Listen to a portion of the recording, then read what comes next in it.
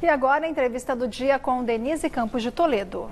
Nós vamos falar agora sobre as pautas do Congresso e as propostas da oposição na, no atual cenário político. Eu converso com o Paulo Teixeira, que é deputado federal pelo PT de São Paulo. Deputado, boa noite. Boa noite, Denise. Boa noite, Laerte. Boa noite, Luciane. E boa noite a todos os telespectadores da TV Gazeta. Bom, o Congresso tem trabalhado muito em cima de pautas relacionadas à pandemia, as propostas apresentadas pelo governo, propostas do próprio Congresso. Agora volta uma agenda reformista, reforma tributária. O governo finalmente apresentou alguma proposta dele. Como é que, que você avalia todo esse cenário político, a, a, o trabalho do Congresso até agora? Denise, o Congresso tem desempenhado um papel fundamental, porque as principais matérias têm nascido e crescido dentro do Congresso. Quais são as principais matérias? Primeiro, liberamos recursos para o enfrentamento ao coronavírus na área da saúde. Depois, liberamos recursos para o auxílio emergencial. O presidente queria 200 reais, nós falamos, não, vai ser 1.200. Fechamos em 600, mas tem famílias recebendo 1.200. Em terceiro lugar, os recursos para estados e municípios enfrentarem o coronavírus. Depois aprovamos também recursos para o Fundeb, o novo Fundeb, 23% da União para o novo Fundeb. Aprovamos aquela lei emergência cultural, a lei Aldir Blanc, a lei para agricultura familiar e o Congresso tem desempenhado um papel central nessa crise e evitamos uma série de matérias que são estranhas ao coronavírus. Por exemplo, aquela ideia da carteira verde amarela. Não era uma matéria para ser discutida nesse momento emergencial. Então, o Congresso tem desempenhado um papel muito importante. Você me pergunta sobre as reformas, né? O governo mandou muito tardiamente uma proposta de reforma tributária, mas já tem uma reforma, uma proposta de reforma tributária que tramita no Congresso Nacional, que é a emenda constitucional 45. Mas também prevê a unificação de tributos. E o governo, prevê. nessa parte, é PIS, COFINS, uh, juntos de um novo tributo. É isso. Eu creio que o que nós deveríamos fazer no Congresso Nacional é unificar os tributos, simplificando os tributos sobre consumo, que é aquela proposta que foi elaborada pelo Bernardo Api e o Nelson Machado.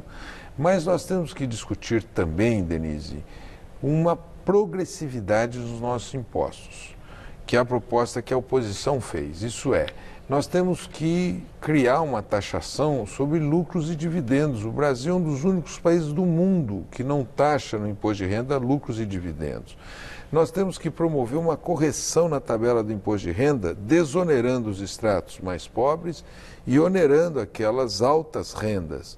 Nós também temos que repensar o tema de grandes heranças, aquelas heranças que extrapolam 10 bilhões de reais.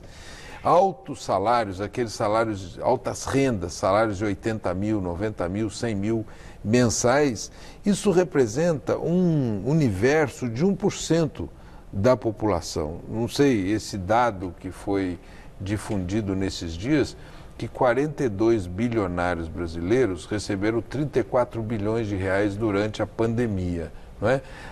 Nós somos um país muito desigual. E, na minha opinião, a reforma tributária deveria não só simplificar os impostos sobre o consumo, mas também é, estabelecer uma progressividade nos impostos para que haja mais justiça tributária e aqueles que são muito ricos contribuam mais para os serviços necessários aos mais pobres. Agora, deputado, o governo só apresentou a primeira ideia dele em relação à reforma. Ele deve apresentar alguma coisa em relação a dividendos, a desoneração da folha, a recriação de algo parecido com a CPMF, que não seria, seria para a economia digital, mas isso seria uma próxima etapa. Agora, eu queria saber, do ponto de vista político, como é que está hoje a base do governo e o jogo de forças no Congresso. O governo se aproximou do Centrão para conseguir uma base de apoio maior depois de todo o racha até do, do, PSL, de dificuldades que ele vinha tendo, e agora dois partidos se afastam do Centrão. Como é que fica o jogo de forças lá no Congresso quando o governo tiver uma matéria que seja de interesse maior dele? O Congresso Nacional hoje, ele tem quatro partes, se a gente puder dizer assim. A primeira é a oposição. A oposição tem volta de 150 deputados. Depois da oposição, você tem uh, uma, um, o Centrão. O Centrão que deve ter ali seus 140, 150 deputados. Depois você tem uma direita liberal, que é liderada pelo Rodrigo Maia. E aí a extrema-direita, digamos, é o PSL. Né? O que eu vejo é que o governo tem perdido muitas matérias no Congresso Nacional. O Congresso Nacional eh, fez um contraponto aos absurdos, às, às, os horrores do Bolsonaro. Por exemplo, o Congresso Nacional aprovou ah, o uso obrigatório de máscaras e ele vetou o uso obrigatório de máscaras em igrejas, que é um dos lugares mais perigosos para se contrair o coronavírus. Né? Então, nós conseguimos ter um protagonismo. Ele não tem maioria congressual. Mesmo com o Centrão, ele tem conseguido minimizar algumas matérias, mas ele não tem conseguido derrotar uh, o Congresso Nacional. Por exemplo, no Fundeb, era 10% do, da União. Mas no final ele acabou apoiando. É, ele é o seguinte, ele quando leva um gol contra, ele sai e grita e sai comemorando. É muito interessante isso, né? Porque no final ele apoiou a votação. É, no auxílio e, e emergencial. Um no auxílio emergencial ele propôs 200, acabou 600, ele comemorou. Depois ele disse que não ia prorrogar, teve que prorrogar, ele comemorou. Aí ele disse que ia prorrogar com 500, 400 e 300. Ele teve que prorrogar com duas de 600. Então ele é o cara que leva uma série de gol contra e comemora. No Fundeb ele começou com 10. Nós falamos, será 20? Ele falou, então tá bom, 20 mais 5 nós vamos colocar para esse programa de transferência de renda. Nós dissemos, não, não vai botar a mão no dinheiro da educação. Acabou em 23, tá certo? Foi uma derrota para eles.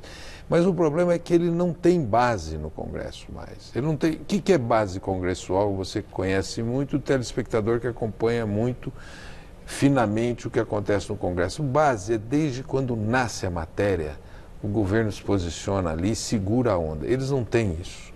Então, uma série de matérias no Congresso nós temos ganho no seu conteúdo e só não ganhamos mais porque de um momento para cá o Centrão começou a, a, segurar um pouco a onda do governo.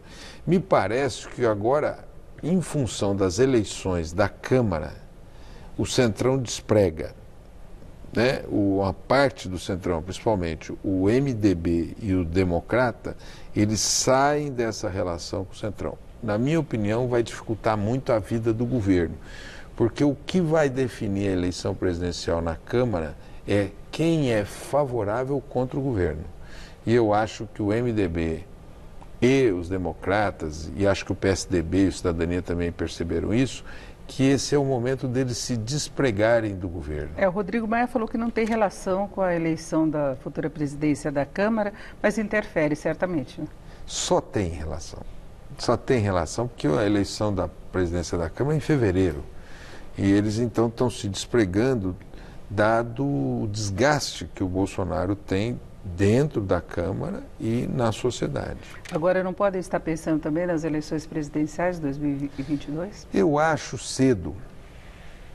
Pode mas ter a discussão está um colocada, né? Está colocada, mas eu acho que o, esse, essa separação a, que está em curso no Congresso Nacional diz respeito à presidência da Câmara. Né? E depois pode ter influência depois também. vai ter uma influência. É claro que as forças agora vão se separando, pensando primeiro na presidência da Câmara, mas depois nas eleições de 2022. Agora, deputado, vamos falar então do PT, né? porque como oposição, a gente vê uma dificuldade enorme ainda do PT de tentar uma aliança mais séria, mais profunda, como oposição como um todo. Principalmente quando se trata de eleições, né? eleições municipais, a gente vê que essa divisão continua.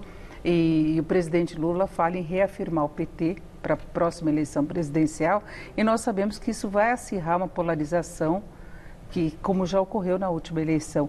O senhor, como integrante do PT, como é que vê essa posição? Olha, Denise, nós estamos num esforço de unidade da oposição. No Congresso Nacional são seis partidos. Mas em votações, né? não como, como uma, uma força nas eleições. É, agora, como força eleitoral, nós também temos feito esse esforço onde nós conseguimos. Por exemplo, Porto Alegre Nós estamos saindo ali em Porto Alegre apoiando a Manuela Dávila. É, em Florianópolis, nós dissemos ao PSOL que se nós tivermos a vice, nós apoiaremos o candidato PSOL. Não é? É, em algumas outras capitais, nós também estamos, por exemplo, em São Luís do Maranhão, nós estamos em entendimento, possivelmente podemos apoiar o candidato do PC do B. Né?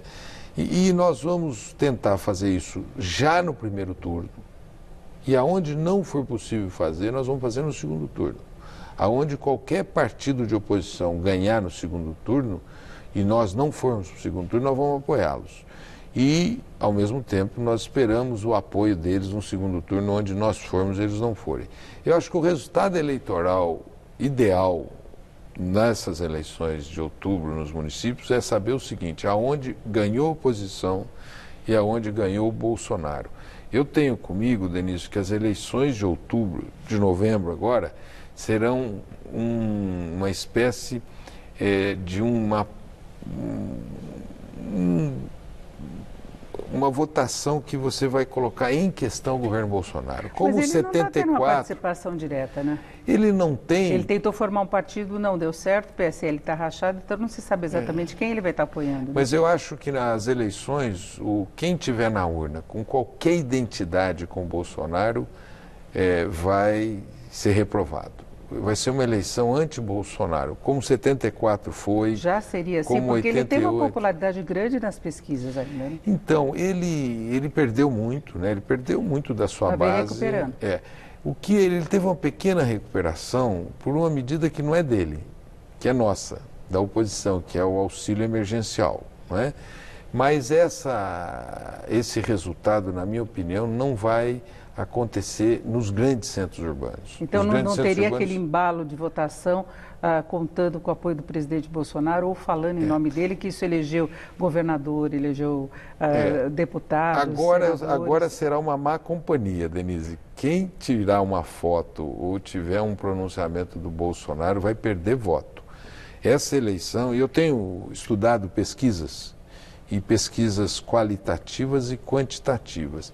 E nessas pesquisas, o Bolsonaro vai pesar contra o candidato. Mas nós tivemos uma pesquisa nesta semana que, aposta, que, apontava que ele ganharia de qualquer um dos possíveis candidatos, inclusive do Lula. Não, é, é, isso aqui diz respeito a 2022. Até lá tem um tempo imenso né, para o Brasil correr. Eu vejo, Denise, assim, infelizmente, é um quadro, para mim, muito difícil, o quadro pós-eleitoral, agora das eleições municipais. Porque o que, que nós estamos vendo? Um desemprego enorme. Um milhão e meio de desempregados na pandemia. Quase um milhão de empresas que estão fechando suas portas na pandemia. Né? É, muita gente que está sem perspectiva. Mas um governo sem ação. Um governo que deveria ter colocado muito dinheiro para proteger o emprego, a renda, proteger. O emprego ele conseguiu algum resultado. É, mas ele muito pouco. O, o, número de postos de trabalho foram eliminados é muito alto. E o que, que aconteceu, Denise? Pela maneira com que ele conduziu a crise, a pandemia vai durar mais tempo no Brasil do que durou no mundo. E isso vai ter efeitos na vida e na economia muito trágicos. Perfeito. Conversei aqui com o Paulo Teixeira, que é deputado federal pelo PT de São Paulo. Deputado, muito obrigada. Denise, obrigado e eu aproveito para prestar minha solidariedade a todas as brasileiras e brasileiros, aos seus familiares, ou que perderam algum dos seus familiares ou que estão sofrendo com a pandemia. Com vocês.